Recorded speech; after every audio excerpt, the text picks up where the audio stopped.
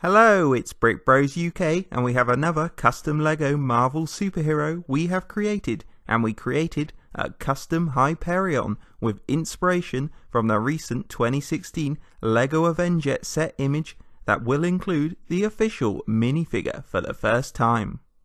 We used the Hulk Lab Smash set Falcon's red legs and red and white torso and swapped the red arms for yellow and kept the gold hands because Hyperion has a yellow and red coloured costume and the new minifigure has gold printing as well.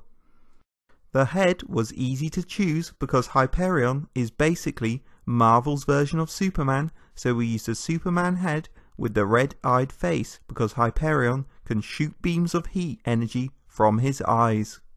And we gave the minifigure an orange ginger hairpiece.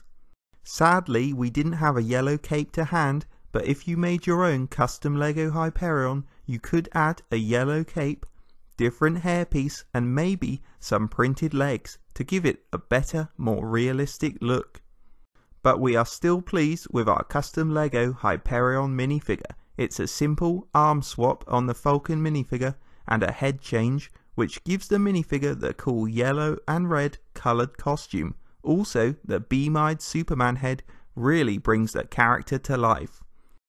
Hope you enjoyed a Brick Bros UK custom Lego Marvel Superheroes Hyperion minifigure. Remember to like, comment and subscribe to Brick Bros UK.